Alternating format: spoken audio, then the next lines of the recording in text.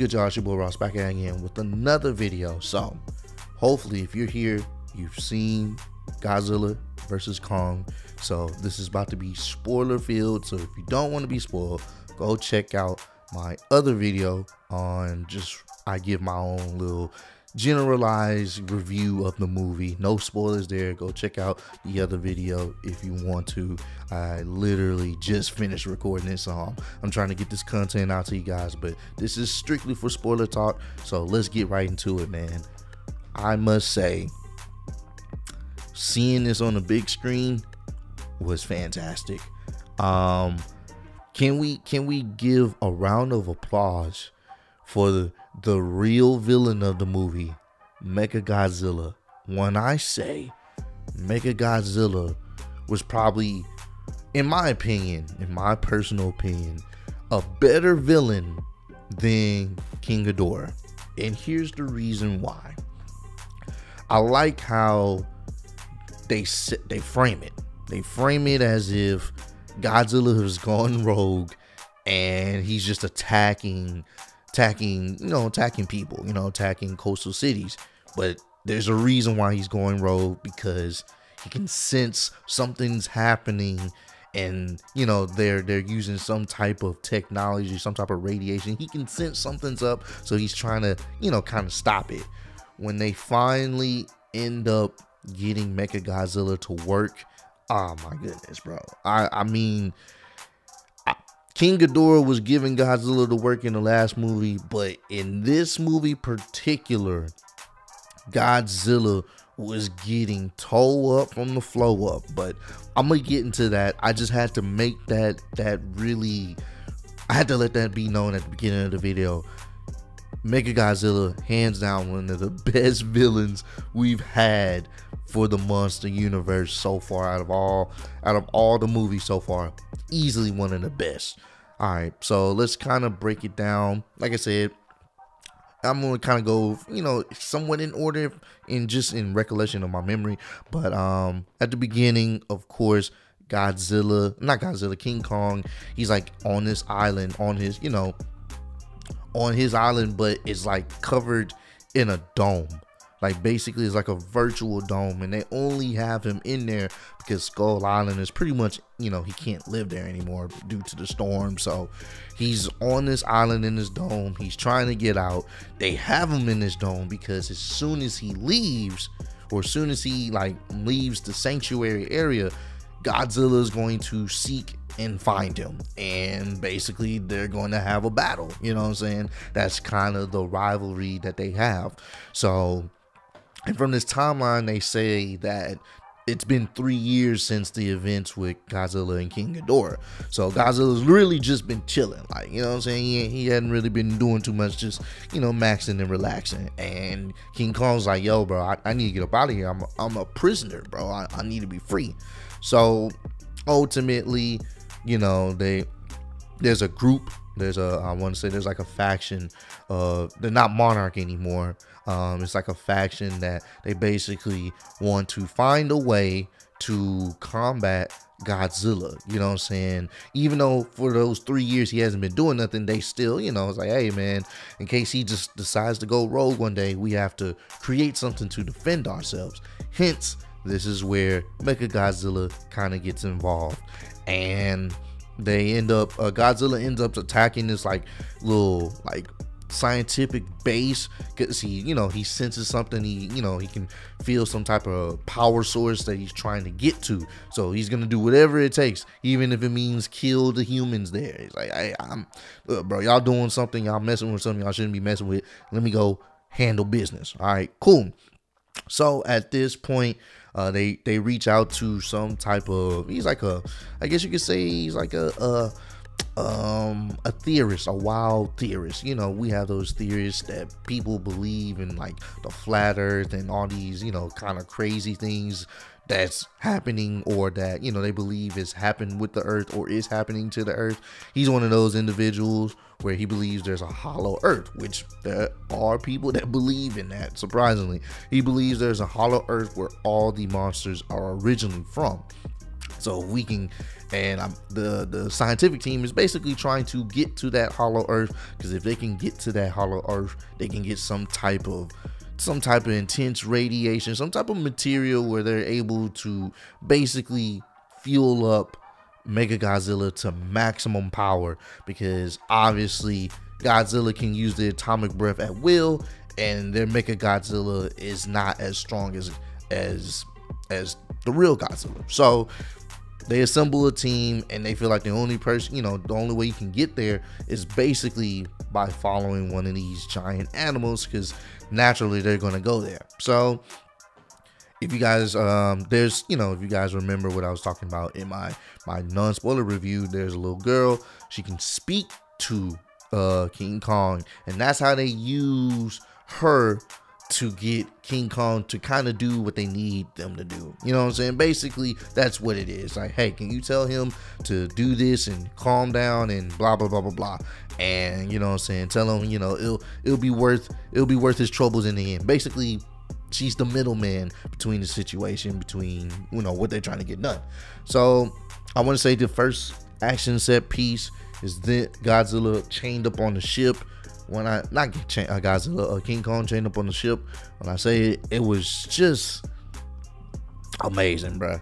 Godzilla is truly formidable, and you see his weight, like his scale compared to all these massive ships, and he's just destroying these carriers, bro. He's just destroying them with ease. Like I don't even know what's the purpose of anyone shooting any type of missiles or guns because it, it doesn't seem like it does any effect. And he was only there for one mission and one mission only to make sure he got rid of King Kong. Now, in this fight, King Kong definitely was at a disadvantage because obviously he's on water. He does not on stable land and godzilla can swim effortlessly. You know what i'm saying? So i, I like this action scene because it, it's right at the beginning of the movie.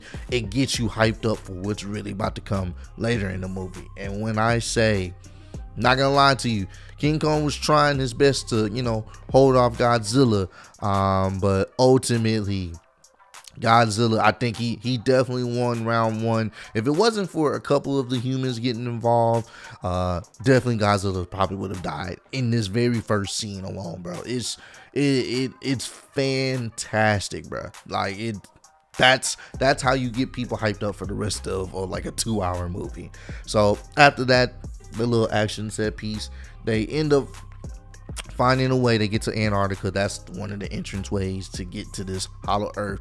They end up following uh, King Kong down there, and they use this specialized ship where the gravity is different, it's inverted. So as soon as you get there, the gravity switches or whatnot. It's it's weird science, but you're supposed to buy into it, right? Mind you, this is like literally a couple few years later after the third one, and this take well after uh, the second Godzilla movie, and this kind of takes place in our time period. So the technology here is a little bit too too far fetched to believe, but like I said, you're just here to see these monsters fight. So they get to the Hollow Earth, and you know do you see the different creatures, and uh, the crew and Godzilla uh, and King Kong end up getting attacked by like these snake flying creatures. Like they're they're like the head of a snake, the body of a snake, but they can fly like a bat, bruh. Very very cool scene just to see that um, ultimately, you know I'm saying, it comes down to the humans being able to actually uh, help out uh, God's uh, King Kong. King Kong ended up getting wrapped in one of these like like wrapped up by one of the snakes and then the humans use like the weapons on one of the ships to temporarily stun the snake and then king kong proceeds to beat the crap out of this creature beats him down starts slamming him left and right pummeling a double double axe handle pummel, just just brutal. Then rips off his head and decides he deserves a little snack, so he does he decides to drink the juices from the head of this snake bat or whatever you want to call it. Very intense, very cool scene and the hollow earth whole segment was actually pretty dope. I really wish they you know we would have had more time in that little that little realm. Like it just seemed colorful and and you know very unique you know what i'm saying? It, it seemed like an alien world within the world they have built. So the you know it, it was dope. I think if they could have spent maybe an extra 20 more minutes there and instead of going back to the other characters i'm, I'm not even really going to get into their names and what they were trying to do because like i said in my spoiler free review you're not there for them. They're there to progress the plot. That is it. So i wish we could have spent more in the hollow earth but that was cool. King kong finally gets to like this throne area where basically you know that's where his family used to be. That's where his family came from. And you see like this huge throne area, and then you also see this throne chair, and you see this axe, like this makeshift axe or whatnot. So King Kong he assumes his throne. There's like these huge giant bat creatures up above. So he assumes his throne and then he ends up using like there's like this little placeholder on the ground where he puts the axe in. And when he puts the axe in, it starts to radiate. And that's when one of the scientist's daughter that's in charge of the whole Mega Godzilla uh, project, she went on the trip as well and she's basically there only to get the, the to download the information she needs, the, uh, the data she needs in order to send it to her father, so Mecha Godzilla can be you know powered up, right? So this is happening, and at the same time, Mecha Godzilla is being you know trained. Well, not trained, but it's like in this this little training facility where they grow the the huge like they grow like the um, what you call it like they grow like some of the monsters there. You know what I'm saying? Basically, so Mecha Godzilla can, you know, test out his strength and his abilities on these like these uh smaller but large in size monsters or whatnot. So and like I said, when you first get introduced to it, it is dog, it looks he looked that he looked menacing. And straight up, one of the creatures is in the little test facility. Mecha Godzilla grabs it. It's like some type of bat type creature grabs it by its wings and proceeds to hit it with the atomic breath, its version of the atomic breath, and splits it in half. It was insane. And at the time, the only way it can be operated is someone is like basically they have to mind meld with it. They have to, it has to be an operator to kind of, you know, sync up with it. And they're using Ghidorah's skull as like this I guess the, basically the computer, because Ghidorah had this type of telepathic communication with all all of its heads. So that's how they're using they're using Ghidorah and some tech, and they have to have a human to pilot Mega Godzilla, right? So when that happens, Godzilla senses the power level increase, senses the power, so it come. I believe they go to Hong Kong. They they go to Hong Kong and basically well, Godzilla ends up coming to Hong Kong like, yo, what's happening here? What what we got going on? And as at the same time, King Kong is like placing this little hammer thing in the ground and it lights up, causing this radiation, like kind of the same type of radiation that you know type of power level. I don't know what it is technically but it looks the same way as the atomic breath. So that's basically what's is like this ring around this chair around king kong's chair. Godzilla senses it and is powering up the axe. And at this point i this atomic breath is ridiculously op godzilla stands right above it and proceeds to atomic breath all the way to the center of the earth, to the hollow earth where King Kong is at. And you see Godzilla just like, yo, bro, like what what what you doing down there? And King Kong, like, bro, oh, you want me to you want me to come up there? I bet. So now it they're they're ramping it up. It's like, okay, it's it's about to get intense. My that boy Godzilla's like, hey man, say man, I'm not really here for you, but since you over there doing that BS down there, bro, bring your ass up here so I can take care of you myself. Right? Cool. So King Kong ain't no bitch. He climbs his ass up there. The humans end up following. Uh, I believe the daughter, the daughter of the the head of director of the um, uh, uh, Mega Godzilla ends up dying because they get the information, and then once Godzilla uses atomic breath, it creates this whole explosion, this whole hole, like the whole little cave area is starting to tear down. The the giant bats are starting to swoop up individuals, so they get into one of the other ships, and I guess King Kong is in the way, even though they can fly around the ship, fly around King Kong. So they shoot at him. King Kong grabs them he looks inside to make sure his little friend from the island's not in there. He's like, huh, all right. All right, she's not in there. Boom, crushes them. They're all dead. I'm like, all right, well, okay. Bye, characters that I don't care about. So they, uh, the rest of the crew, or the rest of the, the people you somewhat care about, they end up getting on the ship, of the last ship. They go up, they follow King Kong. And when I say, honestly, one of this is one of the best action scenes for a monster movie like this. Oh, it was so fantastic. Let's be let's keep it a stack and a half. Uh, there's a lot of people dead from this fight scene. There's no not there's no possible way everyone got evacuated. Like they're literally destroying Hong Kong at this point, and it was beautiful to see. The fights was dope. It was just intense. King Kong was not giving up. Godzilla started spamming his atomic breath like he playing Mortal Kombat, spamming you know distant moves like projectile moves. It was it was fun. It's it's it's fun. I'm not really gonna go into great great detail. Just know when when you see this set piece, this action piece, just know it's gonna be carnage, destruction, and fun, and that's all you care about, right? So towards the end, you know what I'm saying? He, you know, King Kong using this axe real well, you know what I'm saying? But ultimately, Godzilla gets the upper hand. He, you know, King Kong ends up getting his shoulder dislocated. He gets the upper hand. Godzilla gets the upper hand. He's stepping on his chest, just like, you know what I'm saying? And grinding his foot on his chest, like, yeah, I'm the one. You know what I'm saying? I am the king of this. You know what I'm saying? Like, don't ever get it twisted. You know, he's yelling, you know, Godzilla's yelling at him, it, just right in his face. And King Kong, there's no no quit in his blood, yelling right back at him. I thought that was dope, just a dope visual. But ultimately, King Kong lost. he lost the second round for sure. Towards the end, he was he was doing well at the beginning of the fight, but towards the end, he lost, and that was pretty much it. So he's actually about to die. At this point, he's actually in like bad shape. So you know, it's looking like he's about to die, and that's when they they already upload the information from the Hollow Earth, and that's when Mega Godzilla is at 100% power. Remember, I said they had only been using them at 40.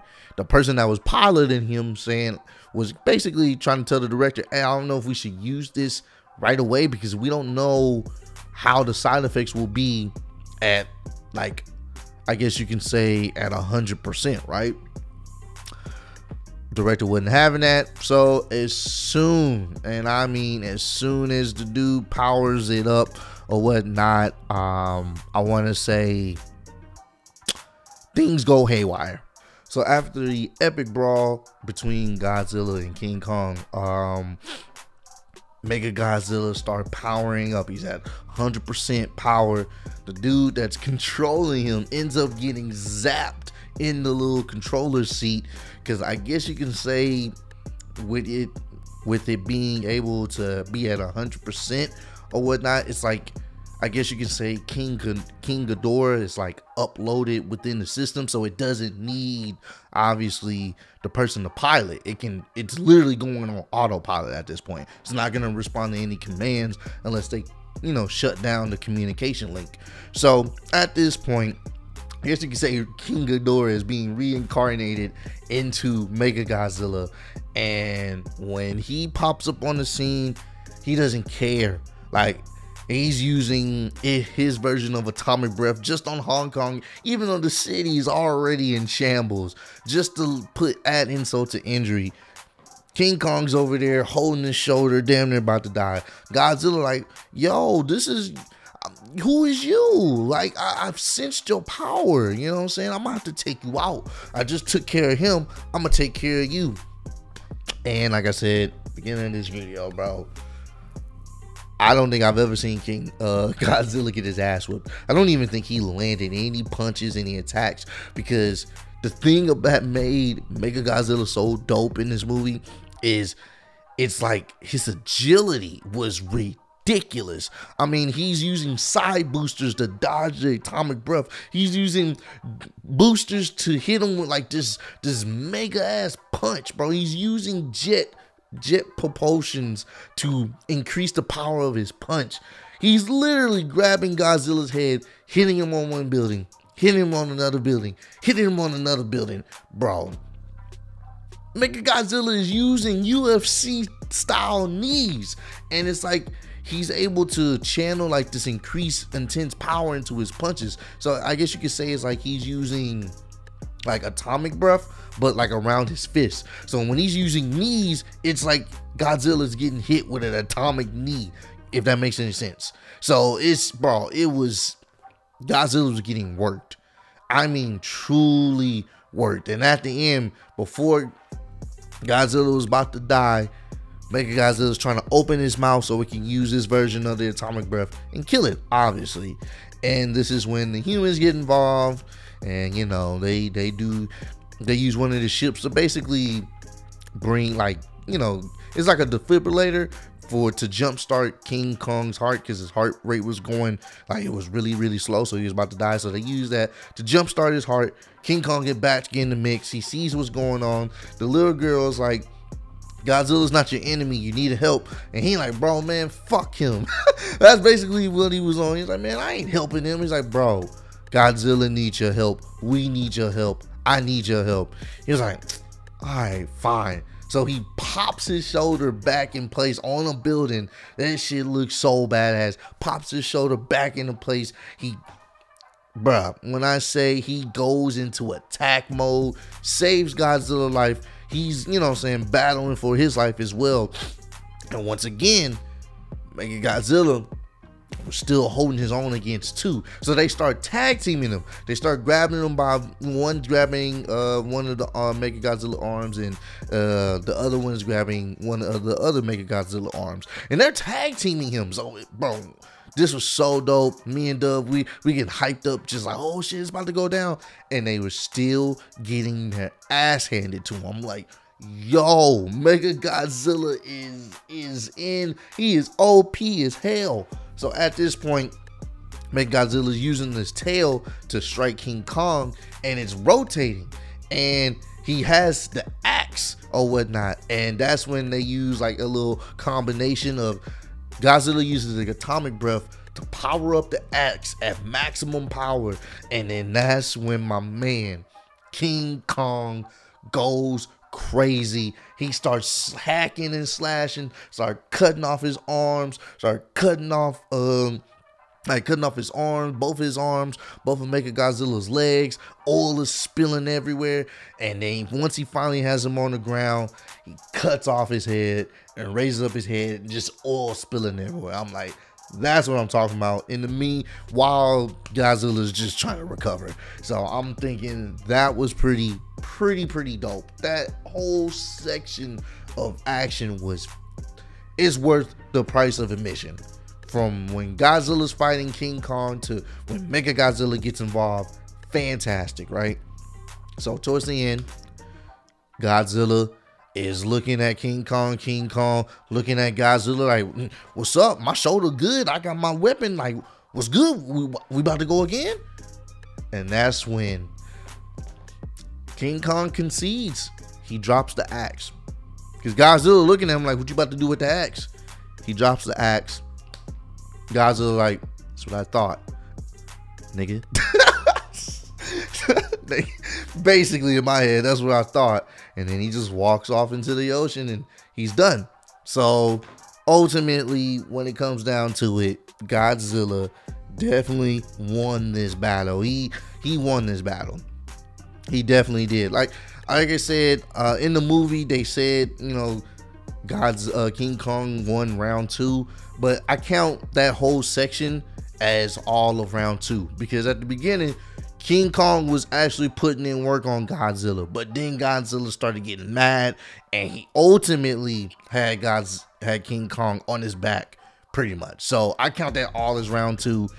Ultimately, King Kong, he didn't he didn't win. He didn't win. He put up a good fight, but he did not win. So at the end, towards like the very very end of the movie, obviously they go back to the uh to the um the Hollow Earth, and I guess you can say King Kong is like the the king of the Hollow Earth. He runs. He he's the top apex predator, top apex monster in the Hollow Earth, and King Kong and Godzilla is the uh, the the king above the Hollow Earth. I guess you can say they living in in harmony, but they still don't mess with each other. So uh, ultimately, I enjoyed this. This was dope. This was entertaining as hell. Just for the last 30, 35 minutes, man, was so much fun, bro. Definitely, definitely, definitely. If you like the other Godzilla movies, or you, you know, you, you know, they, you're okay with the other Godzilla movies, but you wanted more of Godzilla and the monsters being in the movie, I think this one will be more enjoyable. If you can just get past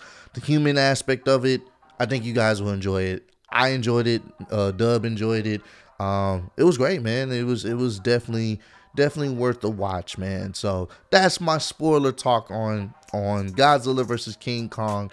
Um, comment down below. Let me know where do you think they should take the franchise, man. They didn't really give no no after credit teaser. So where do you guys think they should take the franchise, and what monsters should be involved in the next movie if they do make a next movie? But I would love your guys' feedback and opinion. Also, tell me what was your favorite part of this movie, man. Let me know. I want to start a discussion, man.